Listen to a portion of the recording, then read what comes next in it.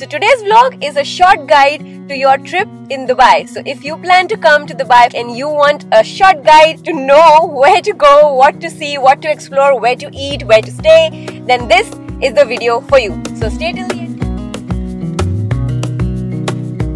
As well, all of that. That entire stretch is called Jumeirah Beach Residence. And this place has been around for almost a hundred years. So we are going to see a plane, an Emirates airline plane with flowers.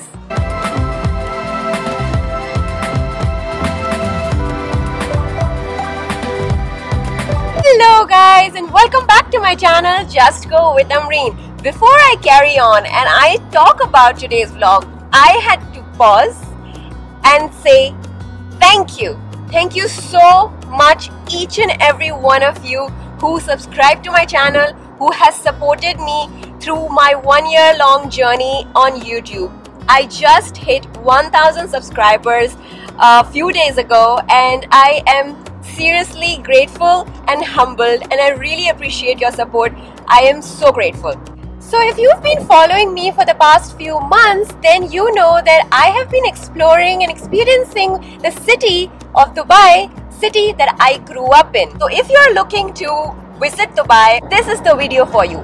I'll be talking about everything from uh, where you can stay, the areas that are best, the prices of alcohol in Dubai, and where you can find it, and all that kind of stuff. Also, uh, the experiences, what you can explore, where you can go, everything.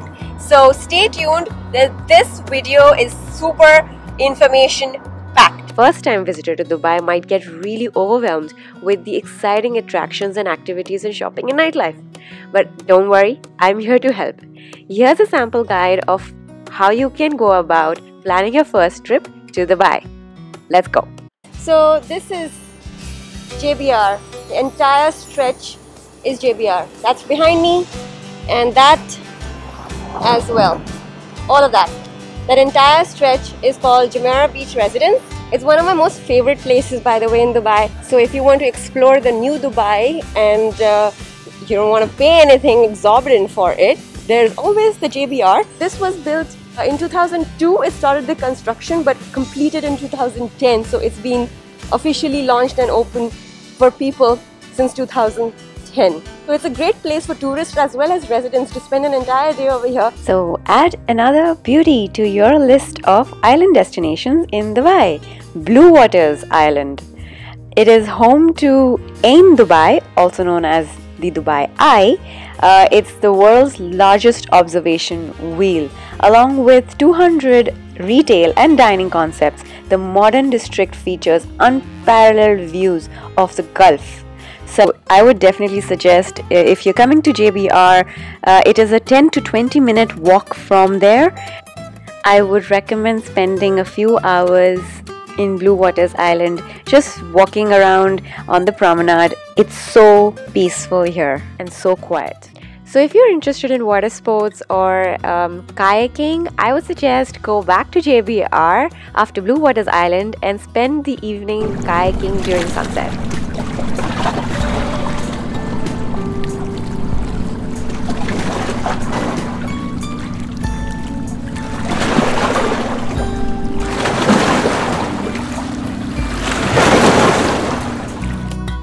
After kayaking, if you still want to explore a little further, then I would say if you come here during the winter months between November and March, they have a beautiful beach market that they put up at Jumeirah Beach Residence. So make sure you check that out.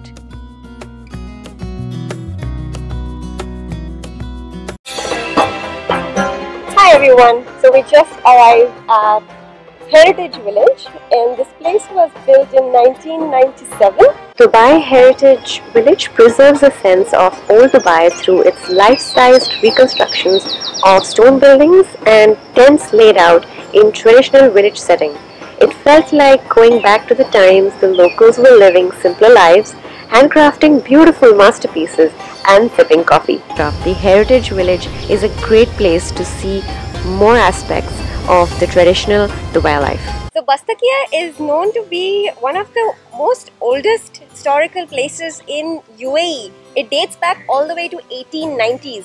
Uh, it was supposed to be demolished, I think, a couple of times, but it didn't get demolished. In fact, it has been restored, renovated uh, since 2005, and uh, it's it's actually this is where the people back in the day used to stay. They are all homes that have been converted into restaurants and you know cafes and museums. Like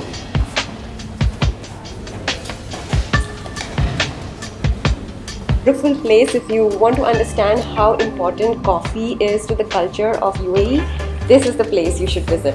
Dubai's Coffee Museum is a coffee lover's paradise tucked away in the Heritage Hub neighborhood in Bur Dubai inside Bastakiya. That right behind me is one of the entrances to the Gold Souk and this place has been around for almost a hundred years. So anybody who visits Dubai as a tourist, or even the residences here for that matter, should at least once come to this souk for sure. Very importantly, sharpen your bargaining skills. This place has has over 300 stores and you need to haggle your way to get the right price and use cash if possible to to bring the price lower even more. People have haggled here almost 30% uh, from the you know uh, price that the shopkeeper says. Another thing um, i would not suggest driving to the gold souk ever. You want to either take a, a, a metro a train to it or you want to come by abra uh, through the creek, but you don't want to drive here. So I was actually looking for the spice souk, but I just stumbled upon the textile souk. Um, this place has pashminas, abayas, kaftans. Wow, that's a colorful souk. We walked quite a bit on our way from the uh, gold souk all the way to the spice souk. We were following the maps on Google and we were walking and it actually took us through these really beautiful lanes so many things to purchase from. So who says you have to shop from a multi-level mall in Dubai only? If you want a little traditional style of shopping, you can always come here. You can spend an entire day shopping. It's insane. It's great. Anyway, now we are headed to the spice spice souk. This is the spice souk and it's one of the most popular souks in Dubai. The narrow passages of these old markets are lined up with small stores selling every herb and spice under the sun. So, on day three, you will be spending most of your day in Dubai Mall, the world's largest shopping mall, because there is way too much to do over here, and you will see that in just a few seconds. But what I wanted to say is that you could spend the entire day here, watch the laser show and the fountains, and leave from here around 7 pm and reserve a table in Pointe Palm Jumeirah and head there to watch the world's largest fountain show. So, in one day, you'll be seeing the world's tallest building, Burj Khalifa, the world's largest shopping mall, Dubai Mall, and the world's largest water fountain in Pointe Palm Jumeirah. Most people go to Dubai Mall for a few reasons. One is to obviously watch the water fountain, which is very famous there, and second is to watch the laser show at the Burj Khalifa, which happens in the evenings. And they have a very famous indoor Dubai aquarium. Now, apart from this, very few people know that Dubai Mall has many more attractions, such as the Kidzania, something called the VR Virtual Reality Park, and they have the Reel Cinemas, uh, which has um, platinum suites with reclining chairs. It's amazing experience, and they also have an ice rink. Um, inside the mall and so much more so you can practically spend an entire day experiencing exploring shopping enjoying all these attractions in dubai mall Right, so the last and final stop is the point. So the point is actually an open plan mall. If you see right behind me, all those are like restaurants and it's a lot bigger than this. So it's basically a waterfront uh, mall, an open plan mall which has upscale restaurants and even shopping.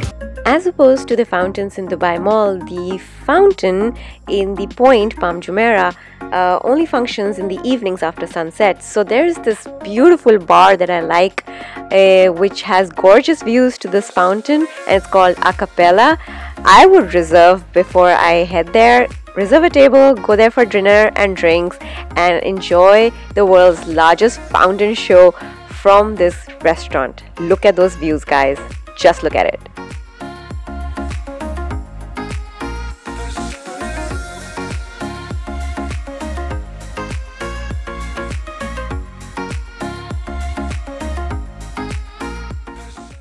So, along with sightseeing and exploring and shopping, eating is equally important. So, after that three day itinerary, let's move along. And here's a list of a few places that you can go grab a bite.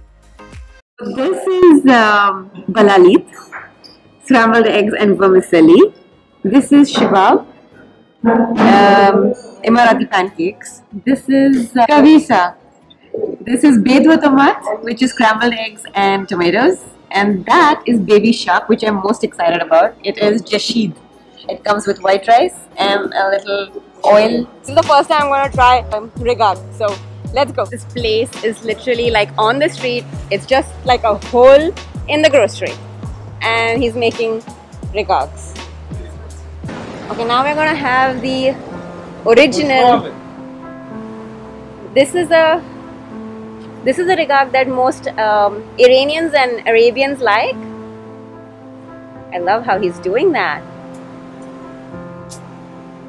My god, that looks hot. And that's with eggs and cheese and fish sauce. The fish sauce is basically made out of mustard, dry fish, salt, and water. So that's I'm, I'm having that for the first time. I've had the Oman chips one before.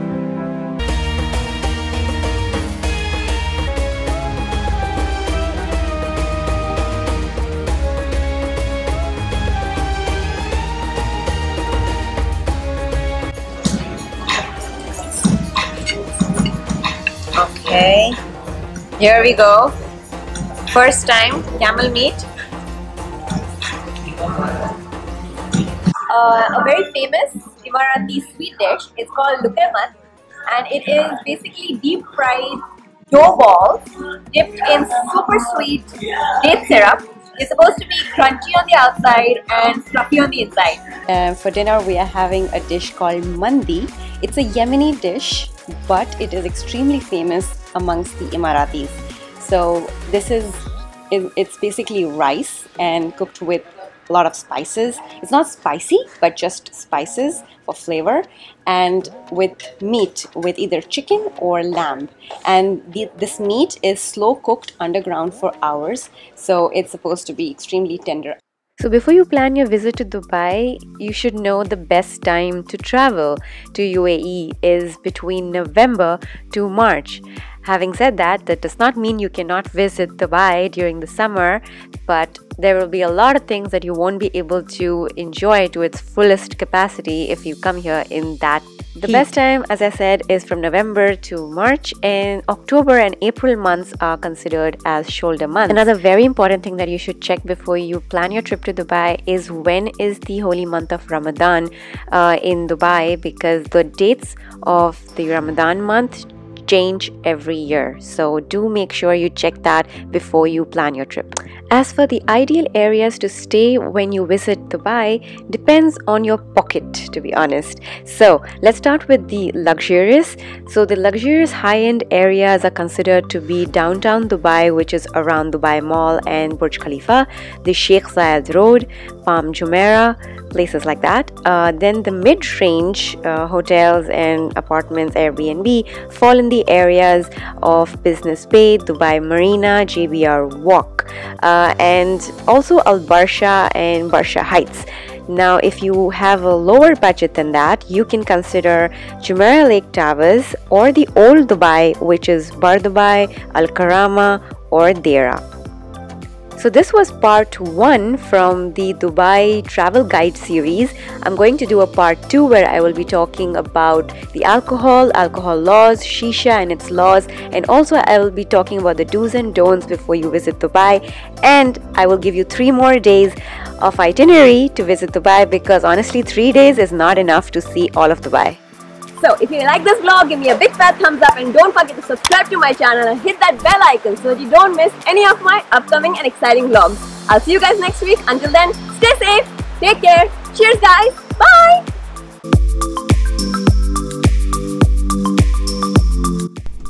Oh my god, my car is a mess. Okay, wait. Alright, now that's better. So, uh, what am I saying? Yes! Today I'm taking so today's vlog is about a short today's vlog is about no forward. Please go ahead and hit subscribe to my channel right away. And what should i say now